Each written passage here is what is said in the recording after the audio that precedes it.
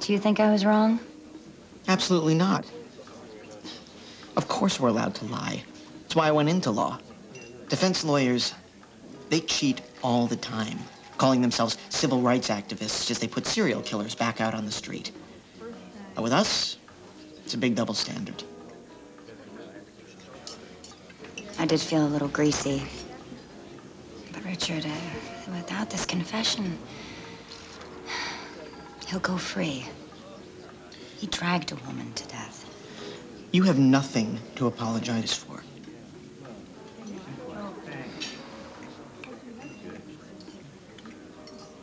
I need the speech. Which one? Anyone, just give me any speech.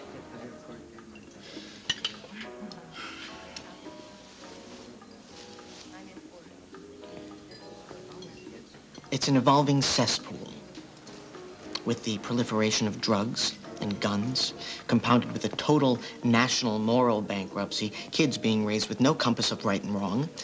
There is rape, there is violence, there is depravity on every street in every city, and with the cancerous corruption of police officers, it now falls to the district attorney alone to stem the tide, fight the outbreak of lawlessness that is spreading like a fungus. We are it, Helen the prosecuting attorney, the district attorney, the noble prosecutor. We represent the last bastion of morality, of justice, and of truth.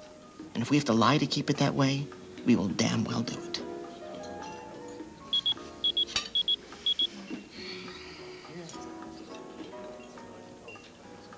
She's got her decision.